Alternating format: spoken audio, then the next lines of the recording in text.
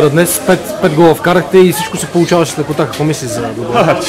Да ви кажа, първото по време имахме доста затруднения, но радваше, че второто, по време така казахме си нещата на полувремето и подарихме много защитна играта, вкарахме нужно спокойствие и напълно заслужено с оглед на това показаното през второто В момента изглеждате много ефективни. Каквото създадете, го вкарвате.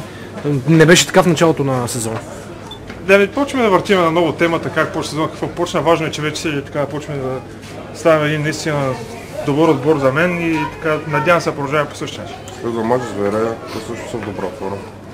И за да играем както днес през второто по време. Пак казвам, че първото не беше от най-добрите, но а, може би така по но влезахме в матча, важно е, че коригирахме нещата. Срещу Верия се надявам да покажем същия футбол и да победим. Ще предподпишеш ли с отбора?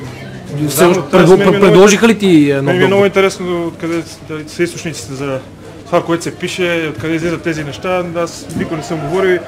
А, така, това са само спекулации. В крайна сметка оставаш ли в Ботев? Дълго до лято.